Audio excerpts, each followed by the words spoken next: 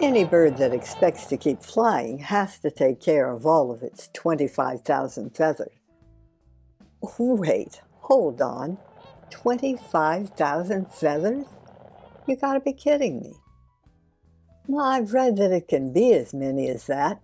I don't know what the minimum or the average is, but however many feathers this little American goldfinch has, and that's quite a few thousand of them he's showing us, he has a daunting task, which he manages by spreading the job out in many short sessions throughout the day. Now, granted, it looks like they're pulling through chunks of feathers. I mean, we don't style our hair one strand at a time. In any case, it's not optional.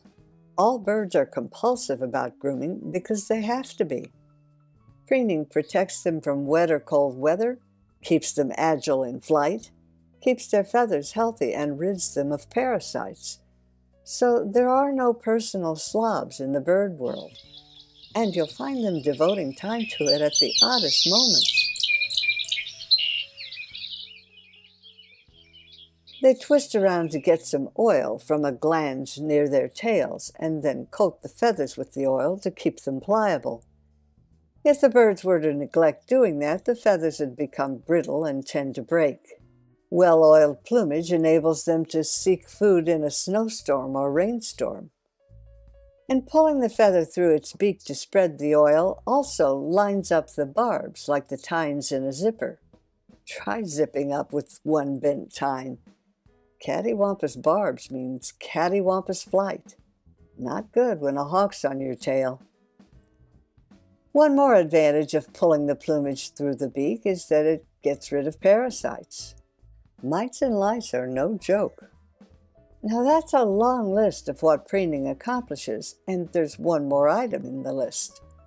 The bird needs air in its plumage to provide bits of space between the feathers so they won't turn into a matted lump.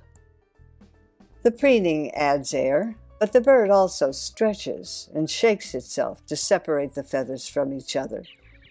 Stretching gives the flight feathers a chance to get properly lined up, and fluffed up plumage protects the bird against cold and heat.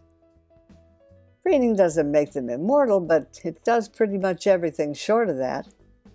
And it's all considerably more trouble than flossing and taking a daily shower and a lot more work than keeping your hair styled.